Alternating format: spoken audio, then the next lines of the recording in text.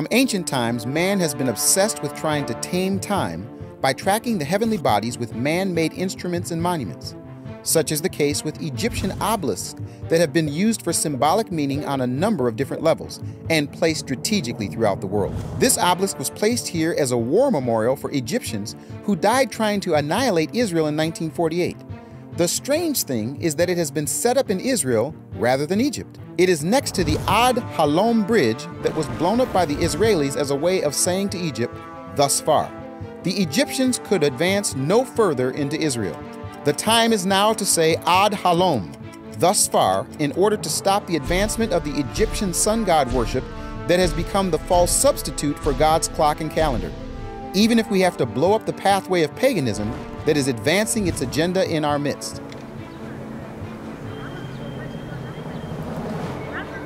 Well, you all, I'm not in Egypt. I'm not in Rome. I'm not anywhere in the Middle East. I'm in New York City. Are you kidding me? The Egyptians being allowed to place an obelisk in Israel raises some serious questions. But why would America want to bring this ancient clock to its shores and place it here in New York City? The answer may be more troubling than some might want to admit, but time will tell. This obelisk, along with its twin in London, was built by Pharaoh Thutmose III in 1443 BC to celebrate his jubilee and was placed outside the Temple of Tum in Heliopolis, city of the sun. This time frame and name of the temple coincide with the Israelites' stay in Egypt. So they put slave masters over them to oppress them with forced labor, and they built Pitom, house of Tum, and Ramses, Exodus. 900 years later, the Persian conqueror Cambyses, son of Cyrus the Great, brought down both obelisks and set ancient Heliopolis ablaze. It took Augustus Caesar in 12 BC to find the obelisks and set them up in Alexandria, Egypt at the Caesarium in honor of his deified uncle and creator of the Julian calendar, Julius Caesar. Even though Augustus wanted to honor his uncle, the hieroglyphics on the sides of this obelisk give glory to Pharaoh Thutmose III and Ramses II, along with the sun god Ra and his divine son Horus. There's much more than I have time or the stomach to explain. Just trust me on this one. It gets much worse. This obelisk stood the entire time in Alexandria, Egypt until 1880, when it began its long trek to this very spot in Central Park. Approximately three months before its arrival, it was reported that 9,000 Freemasons paraded up Fifth Avenue for a solemn assembly and to conduct a pagan ritual to dedicate the cornerstone upon which the obelisk presently stands. The October 10, 1880 edition of the New York Times newspaper reported the following statement by the Grand Master of the New York chapter of Masons, Jesse B. Anthony.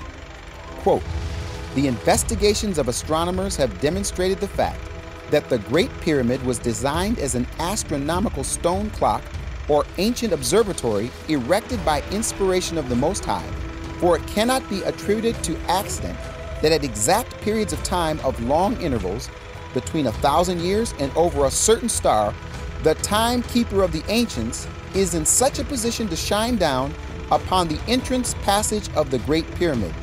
Unquote. You can't make this stuff up. The new obelisk was the Masons' connection to the timekeeping, sun god worshiping, ancient Egyptian pagan religious culture, and reportedly thousands of New Yorkers were there to provide their nod of public approval. Or maybe they had no idea why they were there and they just like parades. Under the ancient obelisk, there was what looked like crab claws that just gave me an unsettled feeling. Maybe it might seem like an overreaction, but I had to do what I've been doing thus far in the Time Will Tell project. I needed to take a closer look. I wondered if they had any significance or if they were simply used for artistic purposes. As I walked around the obelisk, I noticed something very interesting. It was as if the crabs were holding up the damaged base of the obelisk. As I got closer, I noticed that all of the crab claws had an English inscription engraved on it that told the story about the obelisk and its journey to Central Park. I thought that was a very nice artistic effect and it relieved my concerns until I reached the very last claw and noticed that the writing was in Latin and ancient Greek. You know that unsettled feeling I had? Well, it came back with a vengeance, and for good reason. As I stepped away for a little perspective, I noticed this lady painting my obelisk, and she looked to be taking it very serious. I just couldn't resist this teaching moment to help her understand that this was not just an object for art, but rather it was an ancient Egyptian sundial that is rooted in pagan worship of a false deity named Ra. So I engaged her by asking her why she picked the obelisk to paint, and as they say, the rest is history. Well, I'm doing this now. There's actually going to be three different views, and it's going to come together and make an obelisk, mm-hmm. uh, like a, a painting that's a sculpture in a triangle format because there's three different sides. This is one of them. but I'm doing it right now because this is basically uh, a time where uh, we just had a solar eclipse, which, um, well, this obelisk is a symbol of the sun. You know, it's it's dedicated to the god Ra. So, in honor of that, I decided to do this uh, painting, triptych actually. There you have it, right out of the mouth of a confident, no holds barred real life person, and not some ancient Egyptian who's far removed from our present day reality. Her confidence about honoring the sun god Ra really fired me up.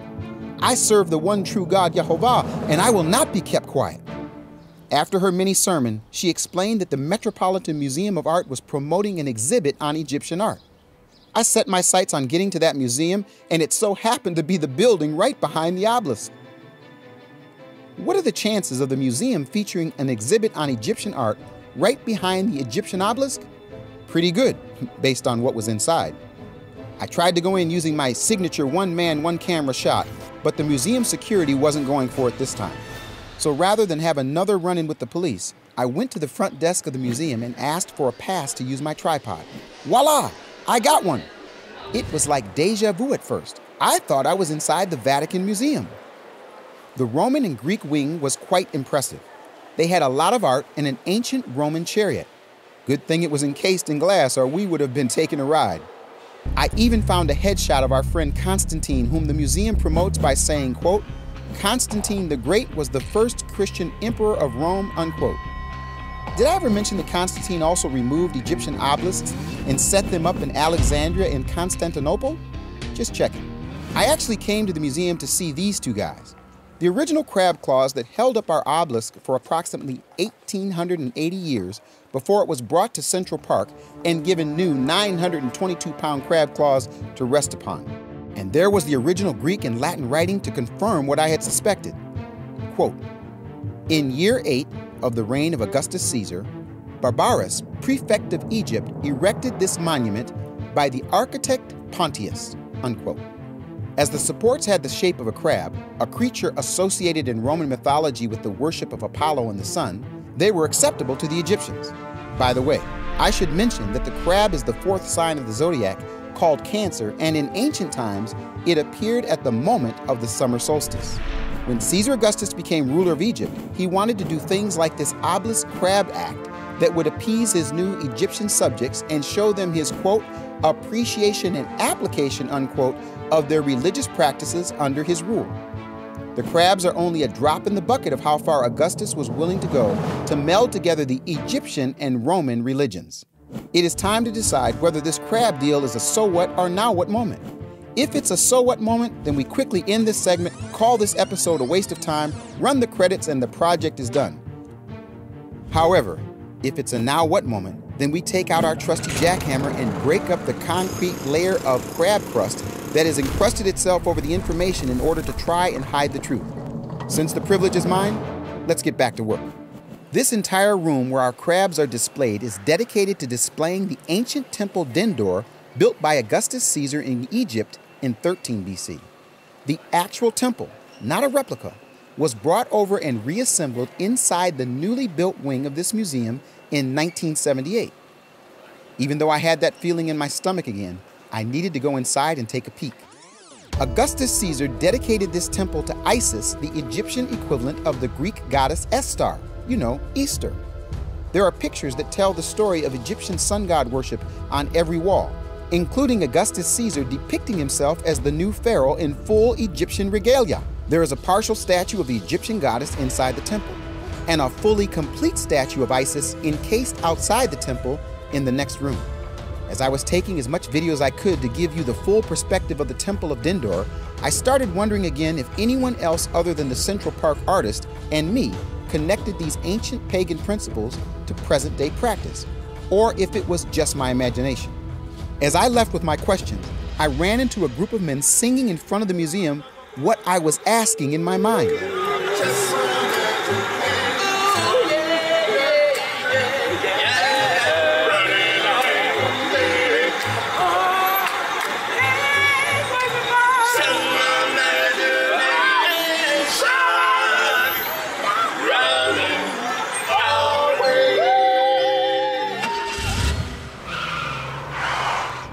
This building is one of two in the entire world called the Egyptian Building, built as a replica of the Temple of Dendur.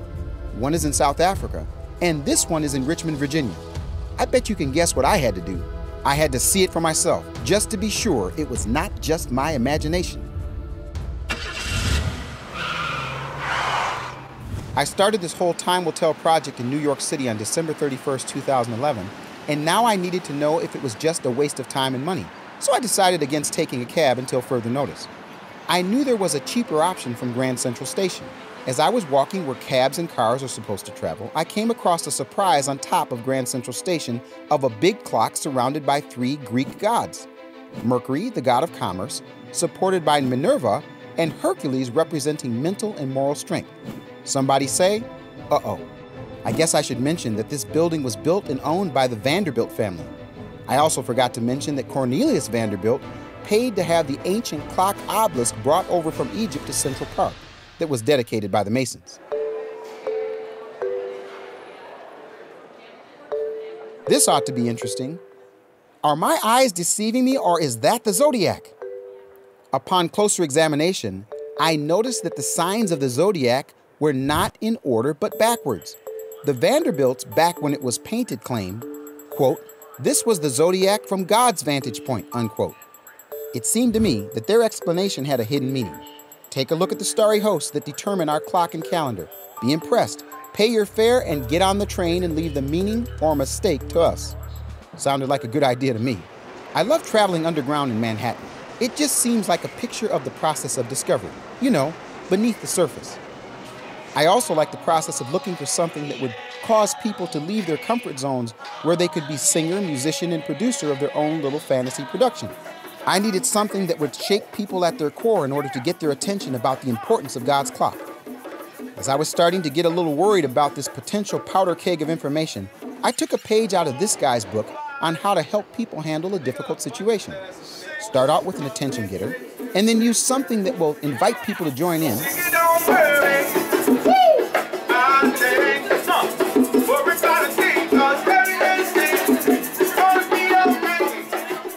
Choose to ignore you or even become adversarial, well then, let's just say there's a time to address some situations head on, and may even call for a little confrontation.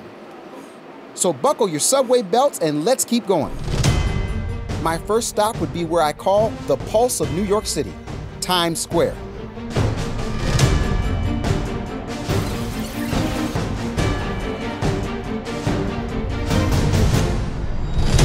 Well, I've been full circle. Started on December 31st, 2011, right here in Times Square. Watched the amazing and famous ball drop that changed the calendar from 2011 till 2012. Well, after that, trying to get information, I found myself in Minneapolis, Minnesota, where I was thinking that I was going to do a presentation behind the walls of a studio. That led me to realize that I didn't have answers for sacred time. So what did I do? I did research.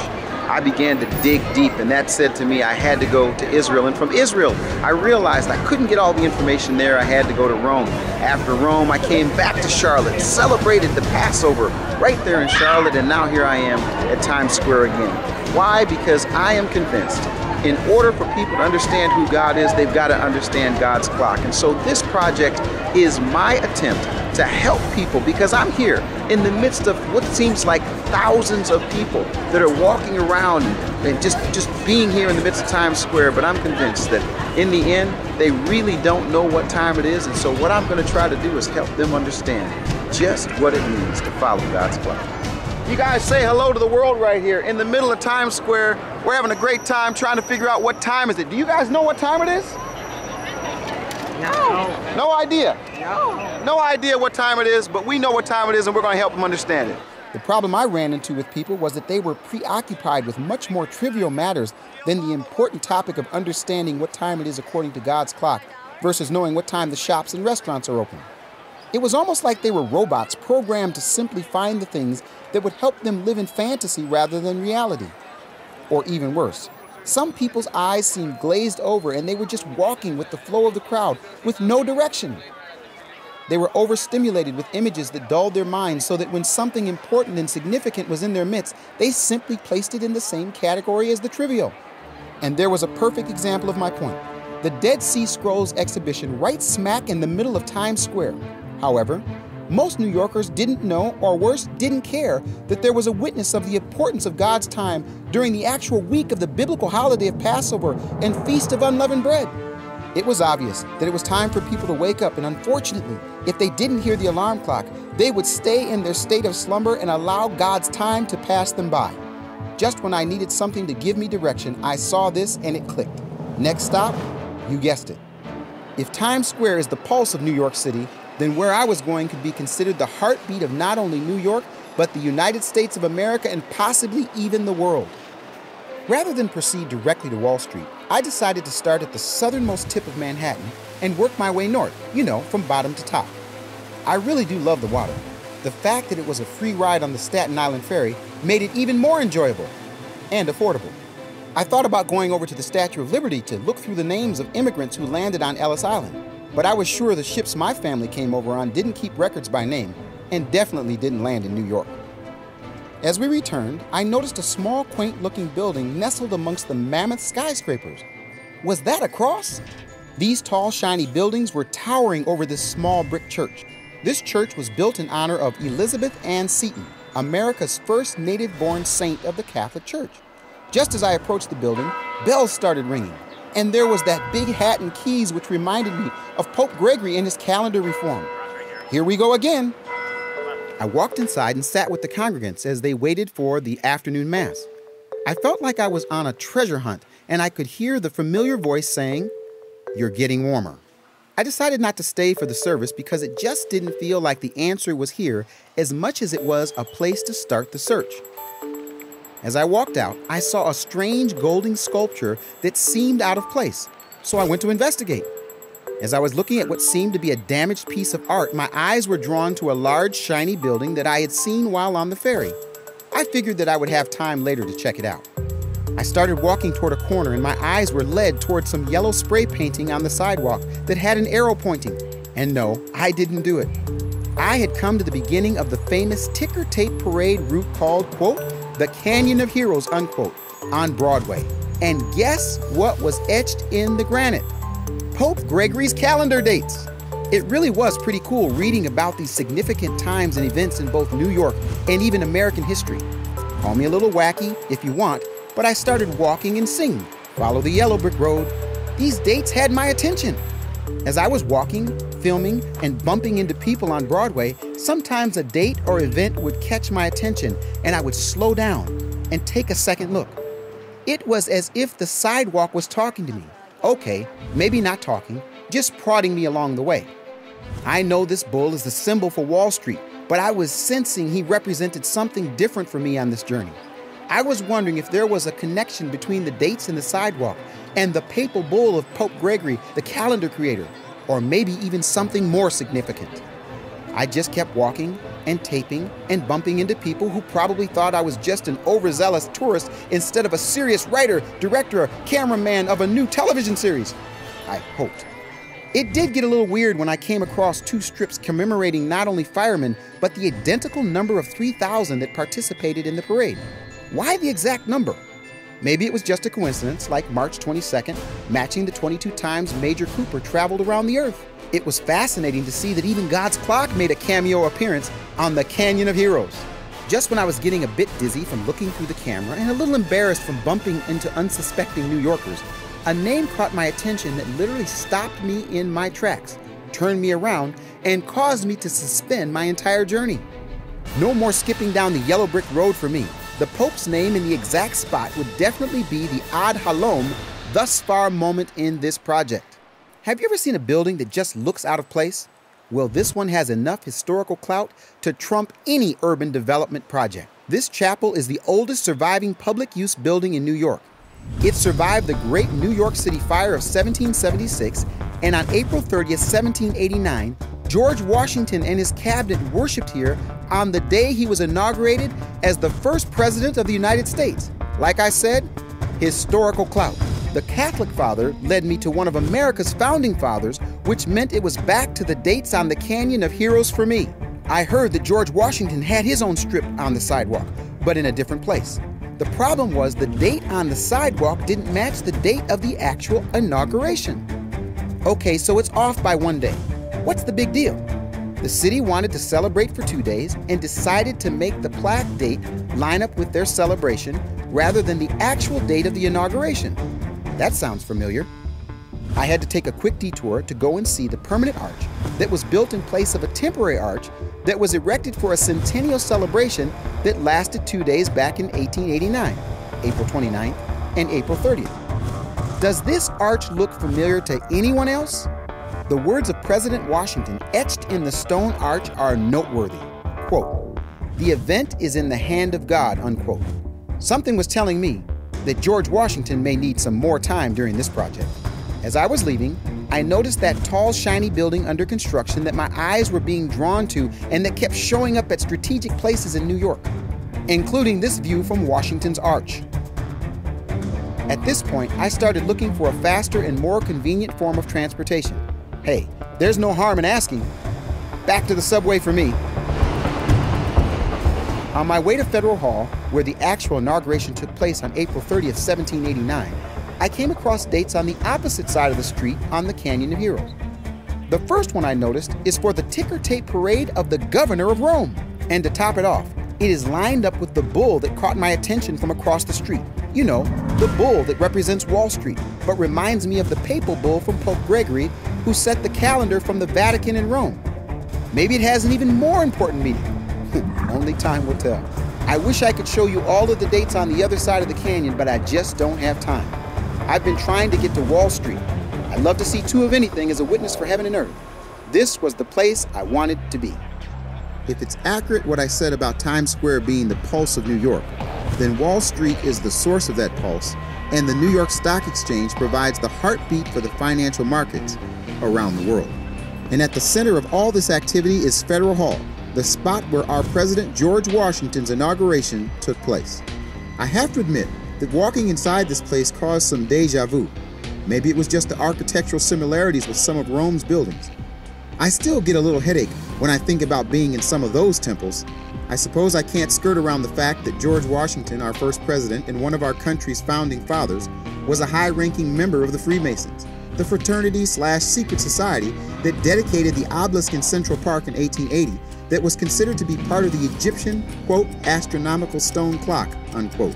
Maybe I should also mention that Robert Livingston, the man who administered Washington's presidential oath, was the first Grand Master of the Grand Masonic Lodge of New York.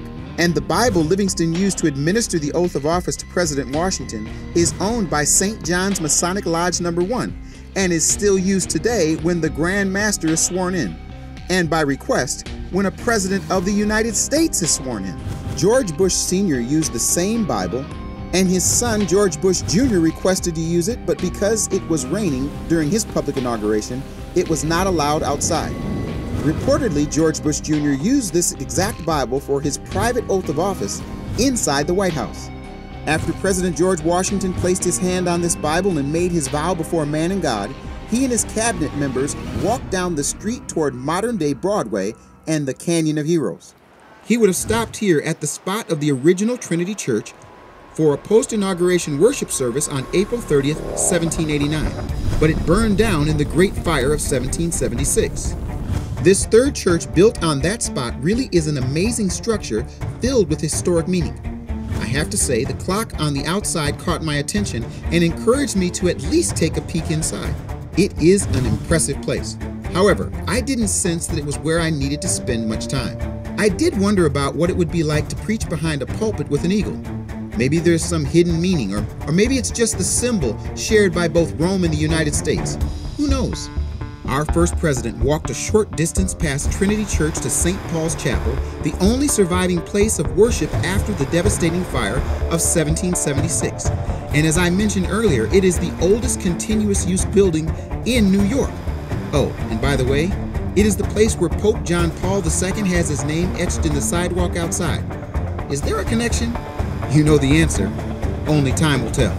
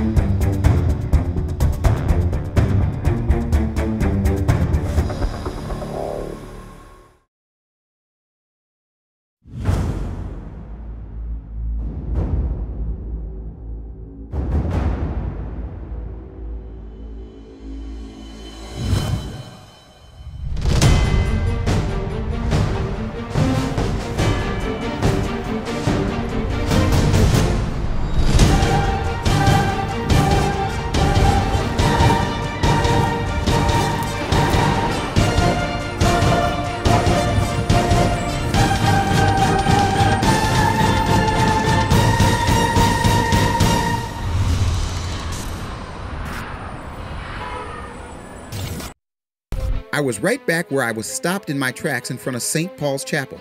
This time I had both the Pope and the President on my mind. The question was who to deal with first, the political father or the religious father? I decided to delay the decision in order to check out another stone clock in Manhattan. This obelisk was placed here in 1846, well before our authentic obelisk from Egypt stole the spotlight.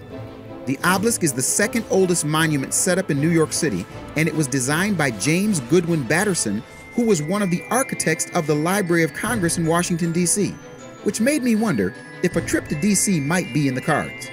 The oldest monument set up is of George Washington himself. Under this obelisk is the remains of Major Worth, the only man who was publicly buried beneath the streets of New York City. You caught the word publicly, right? I guess I should mention that he was buried with full rites and ritual as a Mason, and his obelisk was dedicated with the same Masonic ceremony and pagan ritual as our Egyptian obelisk in Central Park. There was that big shiny building in the distance behind the clock that was showing up in significant places and at important times. While I was trying to connect the dots, these guys showed up. Are you kidding me? The building was lining up perfectly with this obelisk. Could it be?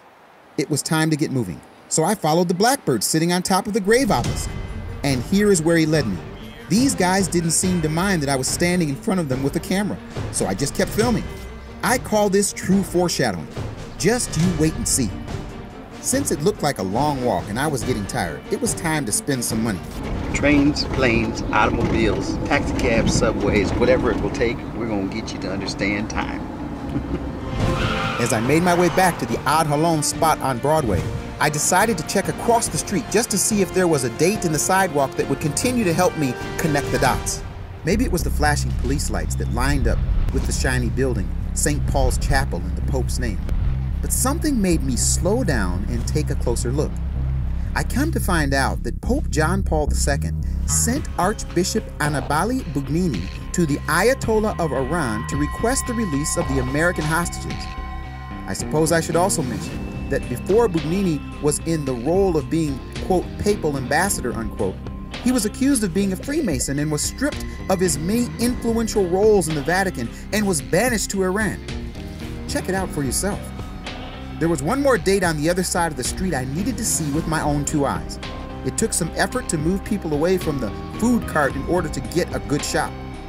But there it was. The only secret society to get presidential and congressional endorsement during Abraham Lincoln's administration, and even a ticker tape parade on August 11, 1955. The Knights of Pythias. You gotta wonder how many knights participated in the parade and who they were.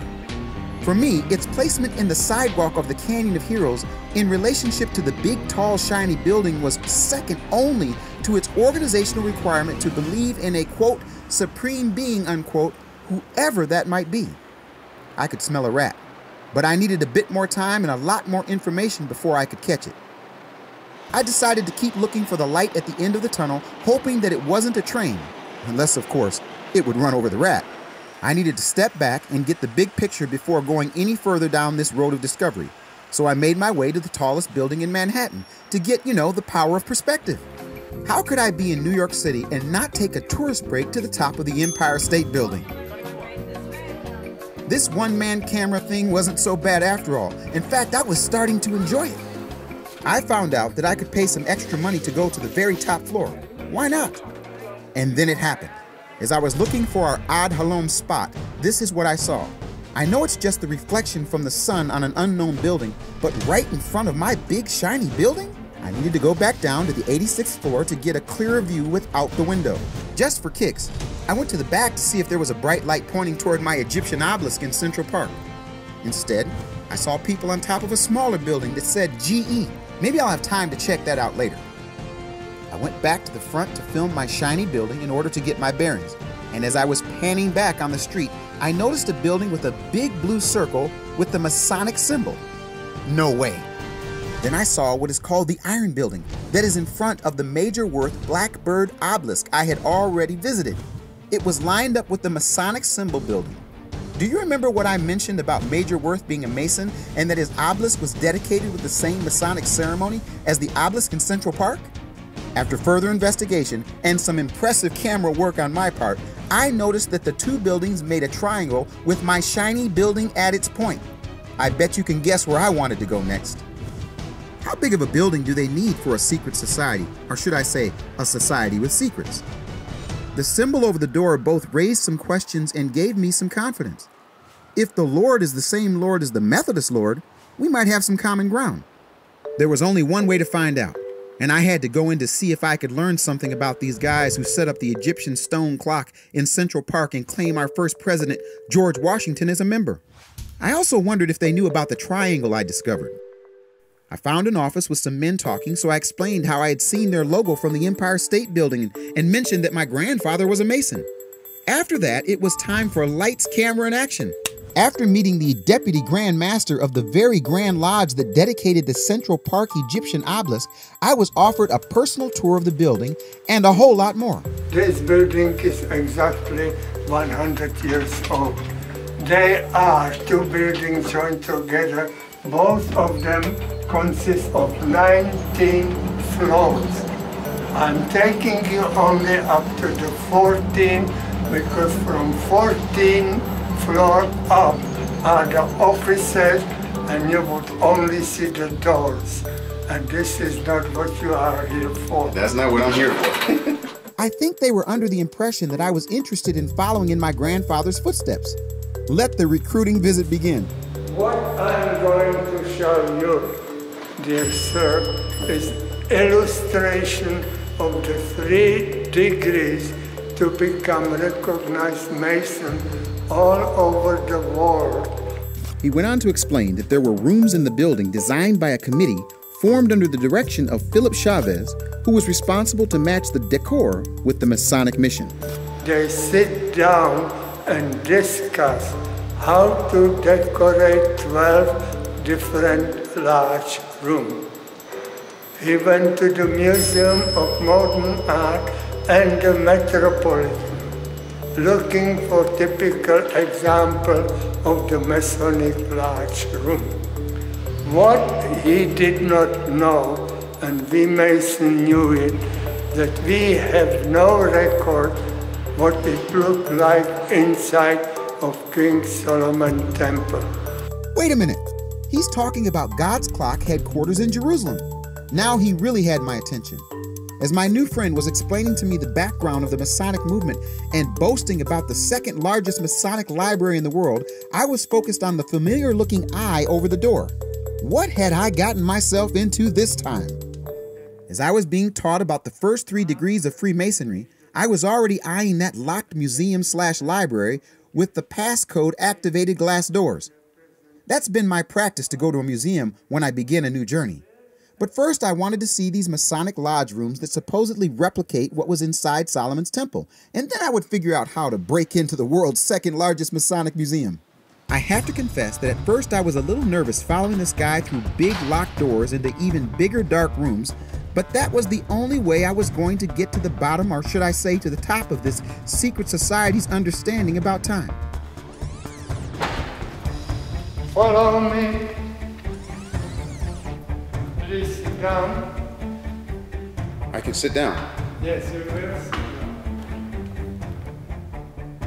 Why I brought you to sit in the most important Masonic large room is when you look at the room from this position, you get much better look of the decor of the room.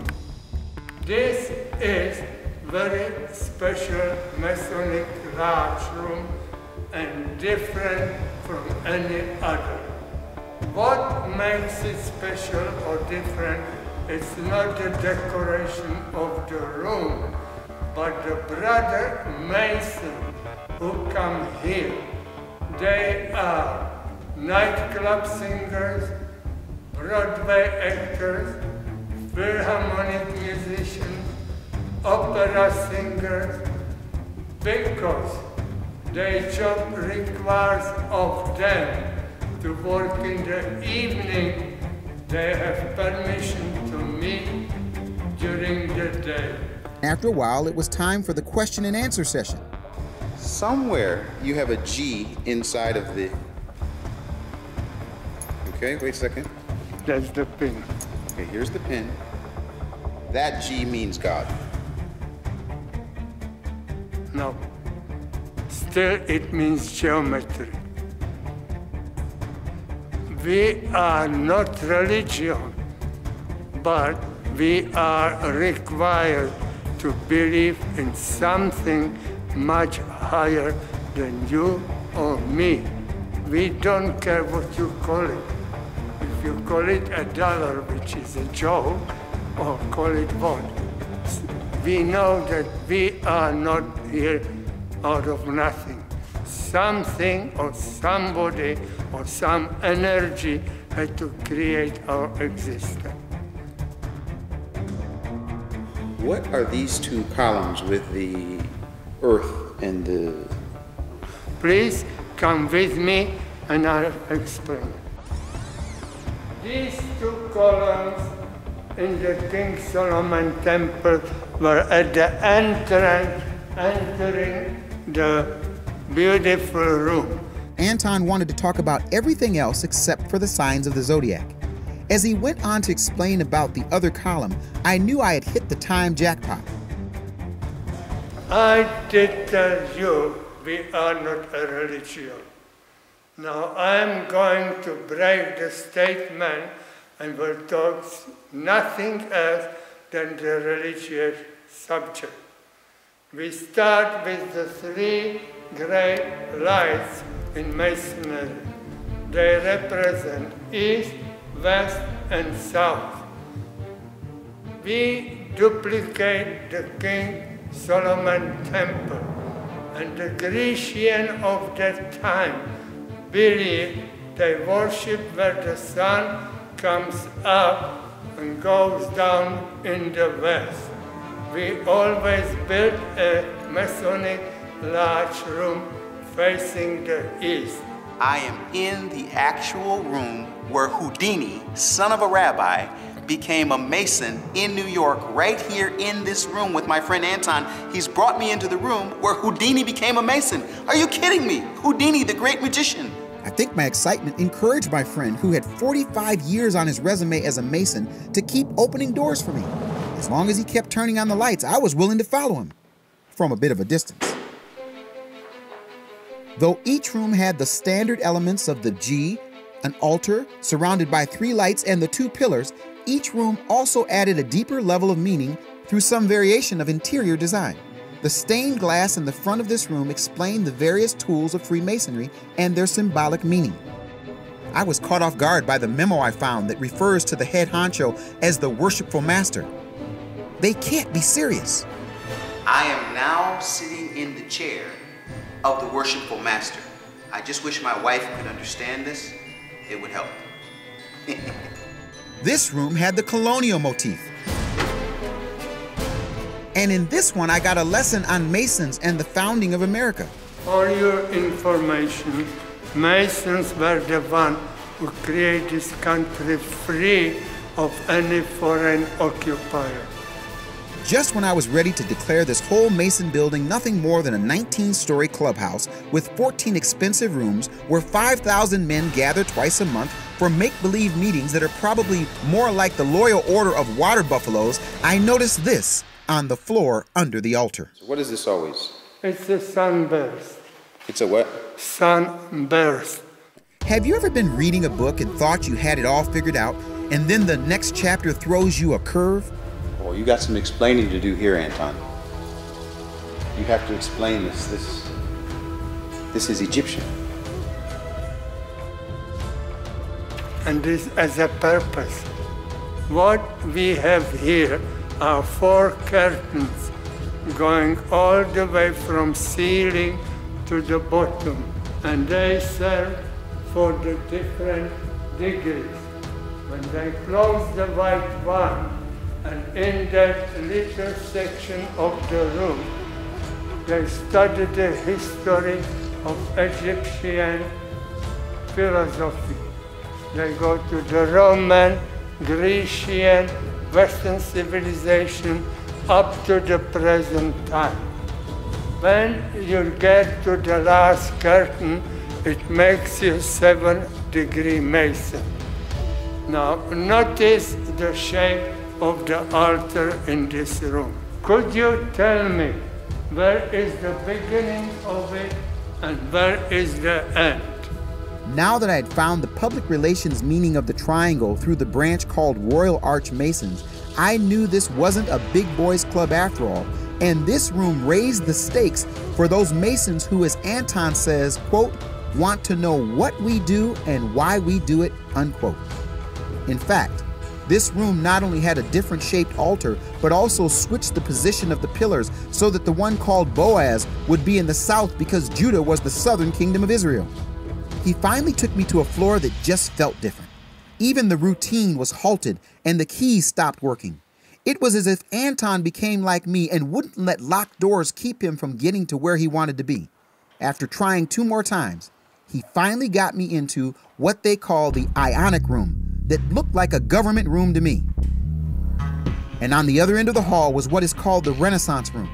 This is the most expensive room of the 14 that are within this building, but to be honest, I think that it is a cover for a different name based on what was inside and where it was located.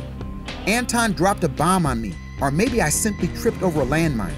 Over the G letter is a painting of the Apollo.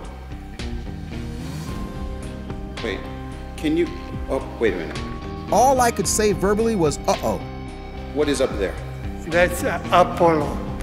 Apollo who? Apollo, the god of the Grecian philosophy.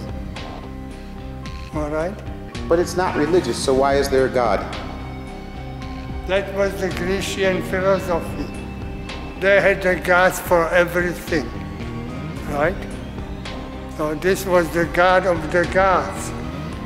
I got out of there in a hurry and found myself in the hallway with this majestic looking room with two pictures of Franklin and Theodore Roosevelt on the wall. This was not supposed to be on the tour, but my new friend let me in. There he was. Now I knew why this floor felt different and why the government room and what I call the Apollo room were all on the same floor side by side. After seeing this room where the highest ranking Masons meet, I switched into a different mode that motivated me to get an answer that, let's just say, ended my recruiting trip a bit abruptly. The last stop of my official recruiting trip was in the room that was used as an exact model for the ballroom of the Titanic. Believe it or not, you are standing in the Titanic ballroom. This seemed like an appropriate place to have what I call a quote, come to Jesus meeting unquote with Anton. Last thing, why does it say holiness to the Lord if it's not religious? You can say anything, but you don't discuss religion. Holiness to the Lord. That's amazing. I mean, that's the Lord. But who is the Lord? It doesn't say God. It doesn't say Buddha. It doesn't say the stone, and you worship the stone. You understand? Our question to you would be, if you want to become Mason, do you believe in supreme being? We don't ask you what you call it, what you believe in, but you believe something much higher than you or me. Now you understand that? I do. Have you ever been invited to show yourself out? I wasn't ready to go just yet, and I knew exactly what I needed to see before leaving. This time, I was going solo. You can't expect a guy with a camera inside a building with secrets to leave when he has access to an elevator, do you? I wanted to talk my way into the Masonic Museum slash library with my camera. Have you ever heard the saying, it's easier to apologize than to ask for permission? I've met my, my friend, the librarian. She's going to find something for me. What are you finding for me? Oh, a book on the obelisks, right? This is our latest acquisition. It's the um, Processus from the Vatican on the Knight Templar. It's the what? the Processus and it's all about the trial of the Knight Templar, you know, I guess in the 15th century. But you said it's from the Vatican? The Vatican. They happened to find um, these treasures and they made a book. They made 800 of them. They gave one to the Pope and they sold 799 of them. We bought one of them. And this is a facsimile of it. Isn't this amazing? So when you have time, it's in English and Italian. You could come someday and we'll take the book over to the table and you could read it if you like. Someday? Now is the time. I am here with a book that was actually in the secret library of the Vatican. I've made it inside the Masonic Lodge in New York. I've been given access to the entire building almost, it seems. I'm in the library, and the librarian has brought the actual book, which has been copied. There are 800 total copies. The first one was given to the Pope. They purchased one here in the library. I have done these special gloves, and I get a chance to read the actual book that had to do with the prosecution of the Knights Templar.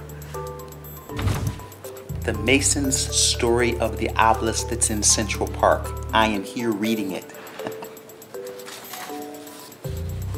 I've got the book from the secret archives of the Vatican, information about the obelisk. As the librarian said, I've hit, I've, I'm sorry guys, I've hit the jackpot. the more I read, the more the librarian would bring me.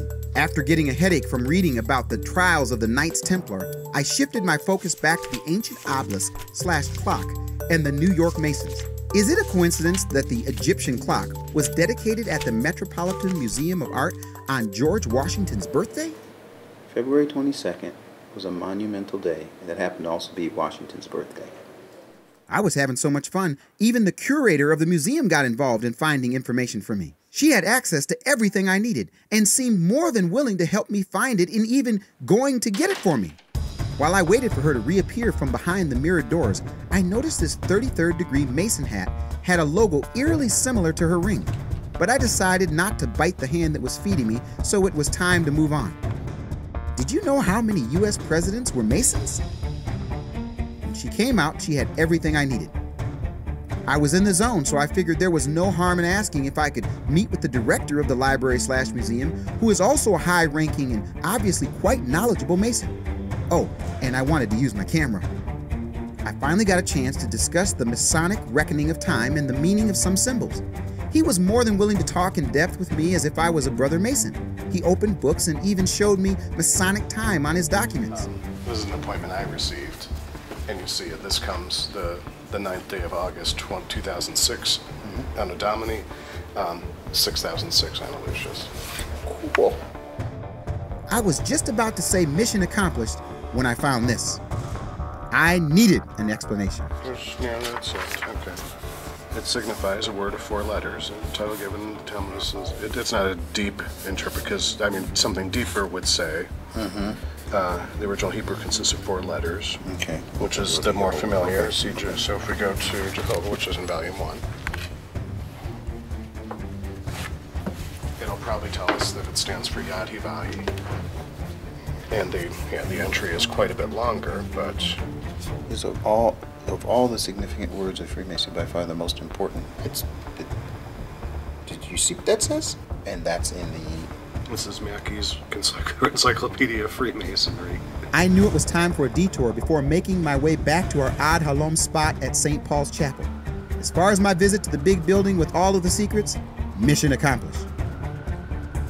It seems that the issue of time and the Tetragrammaton, God's four letter Hebrew name, were key concepts for our first president and his brother Masons.